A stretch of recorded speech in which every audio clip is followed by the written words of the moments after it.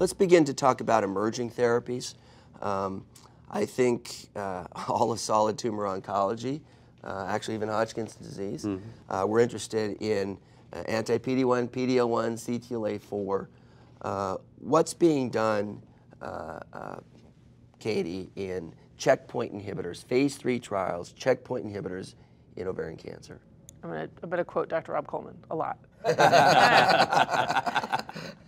Mic drop. Go no. ahead. So in frontline, we have uh, what's called GOG 3015, which is the Genentech study that's randomizing patients to a chemotherapy backbone um, and um, using atezolizumab, which is an anti-PD-1, as a maintenance with or with, uh, with bevacizumab. So it's looking at this question of does combining um, a, a checkpoint inhibitor with an anti-angiogenic strategy improve outcomes, and the rationale for that is that we think you increase T cell infiltration of the tumors by stabilizing the vessels. Primary so debulking, interval debulking, all right. comers. It's um, it's not all comers. It's looking at a little bit of a higher risk population. It has a neoadjuvant cohort and it has a primary cytoreduction cohort, but you can't be a like no gross residual no, no patient right. because some of those mm. patients take a long time to recur. Fortunately. Fortunately. And this is this is more focused mm -hmm. for the economy of the study. Correct. And now the I'm just asking devil's advocate. The study was appropriately powered because if you look at the single agent activity of immune checkpoint inhibition of ovarian cancer,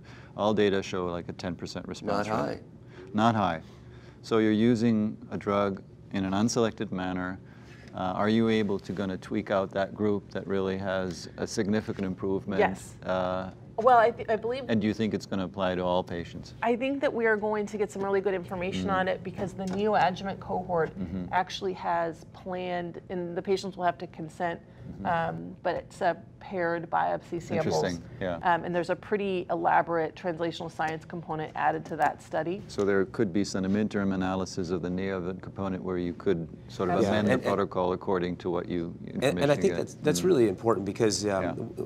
You know, we know so little about what actually happens uh, with right. respect to the T cell infiltration um, and the and the character and the and their and their relative spatial homology to the tumor. Those are all like really critical pieces to understand from this.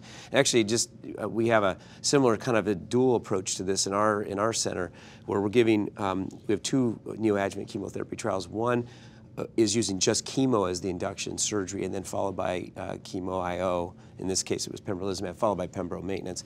And then the other is to look at uh, chemotherapy plus an IO surgery, and then chemotherapy IO followed by IO, and then that durvalumab was, is that particular. But the idea is to compare the pre and post tissue to see right. what happens under those two stresses. Mm -hmm. So you know, I like to simplify things because my mind is simple.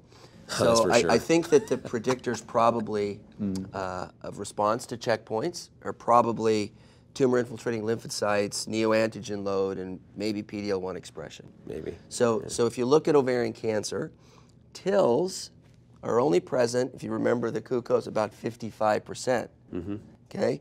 Neoantigen load is also pretty low. So the mm -hmm. idea of adding chemotherapy to checkpoint is to increase the neoantigen load. Correct. We're fortunate that PD-L1 expression is generally pretty common, more 70 to 75%. mm -hmm. So that's why all five randomized phase three trials have chemotherapy with the checkpoint. So you talked about what I call IMagyn 50, you call it GOG 3015, 3015. but it is IMagyn 50. You're correct. And then, and then there are other two more atezolizumab trials, one adding it to the Aurelia regimen, mm -hmm. again, chemotherapy Bev, and one ATALANTE, mm -hmm. adding it to the platinum sensitive backbone. Right. Again, all with Bev because it's the same manufacturer. And then there's avelumab. The Javelin series. The Javelin series. So right. the Javelin series is a frontline and a platinum resistant. Mm -hmm.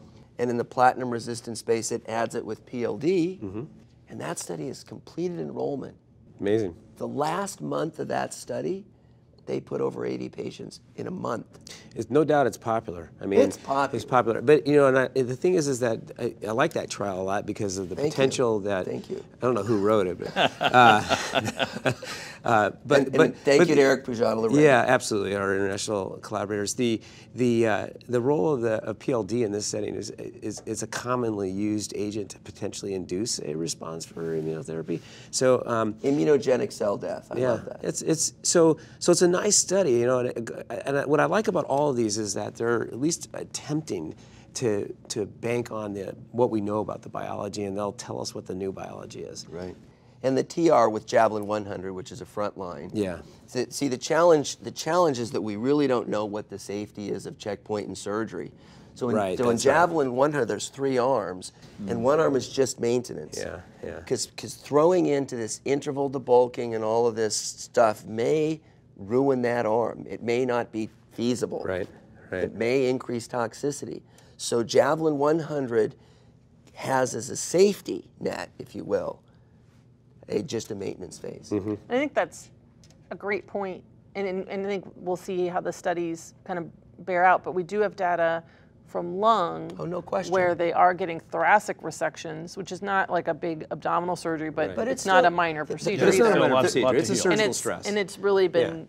shown to be a safe combination kind of in that setting. And Yeah. so I, um, I think we're going to get a lot of information about efficacy and safety and hopefully um, biomarkers.